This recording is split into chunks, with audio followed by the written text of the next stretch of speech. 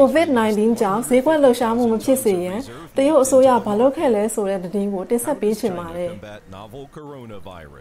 ကိုရိုနာဗိုင်းရပ်စ် COVID-19 ကြောင့်စားသုံးလူဈေးကွက်လှုပ်ရှားမှုမဖြစ်စေရန်တင့်လျော်သောဈေးနှုန်းဖြင့်ပြည်သူပြည်သားများအတွက်လိုအပ်သောအသားရိတ်ခါလုံလောက်စွာရရှိစေရန်အသားတန်တသိန်းခွဲရောင်းချပေးခဲ့တယ်လို့သိရပါတယ်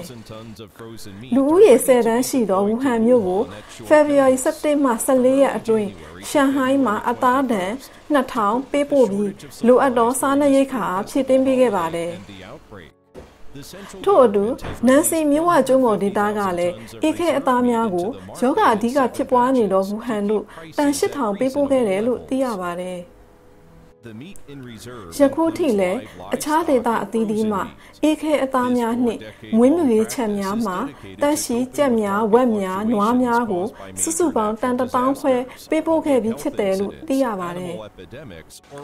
။တရုတ်အာဏာပိုင်များဟာတဘာဝဘေးအန္တရာယ်များယောဂကတ်ဆိုးများကိုနှစ်ပေါင်းများစွာ ခံစားရဘူးသည့်အတွေ့အကြုံရှိနေပြီးသားဖြစ်တာကြောင့်ဒီလိုအခက်အခဲများအတွက်ကြိုတင်တွက်ဆတာအစီအစဉ်များချထားတယ်လို့သိရပါတယ်။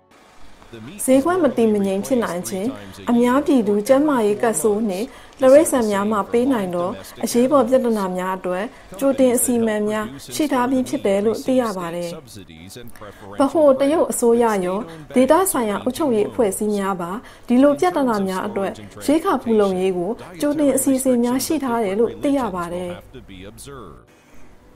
အစိုးရကမျိုးနယ်ဝေးရာမှာ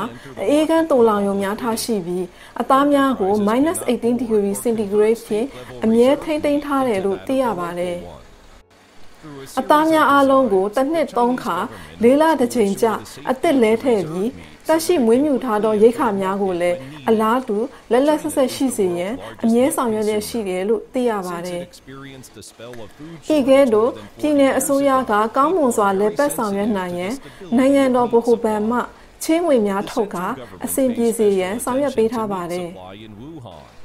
အသားများကို ထိမ့်သိမ့်တဲ့နေရာမှာလဲဘာသာမတူသူများအတွက်ထိမ့်သိမ့်မှုပုံစံများခွဲခြားဆောင်ရွက်ထားက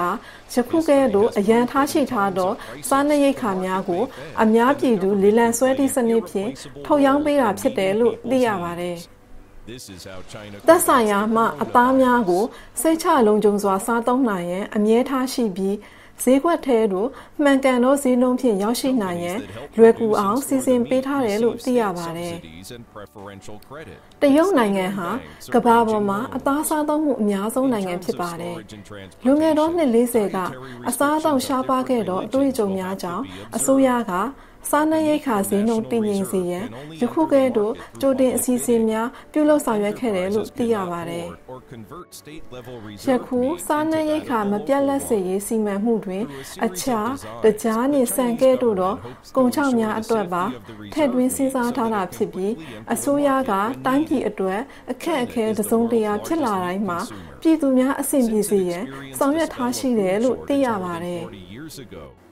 ဒါဟာတရုတ်နိုင်ငံကကိုရိုနာဗိုင်းရပ်စ်ကြောင့်ဖြစ်ပွားလာသောစားနပ်ရိက္ခာအခက်အခဲကိုဖြေရှင်းပုံဖြစ်ပါတယ်။ New China TV သတင်းဌာနမှသတင်းကိုမောက်အိမ်သူမှစီရီယောအောင်ဘာသာပြန်ဆိုပြီးကျမဖြူဖြူမှတင်ဆက်ခဲ့ခြင်းဖြစ်ပါတယ်။ကျေးဇူးအားပေးတဲ့အတွက်ကျေးဇူးအထူးဝင်တင်ရှိပါတယ်။အချိန်နဲ့တပြေးညီသတင်းအကြောင်းအရာများကိုသိရှိနိုင်ရန် Live မြန်မာ Facebook Page နဲ့ YouTube Channel တို့ကိုလည်း like and subscribe လုပ်ထားဖို့မမေ့ပါနဲ့နော်။ကောင်းသောနေ့လေးဖြစ်ပါစေ။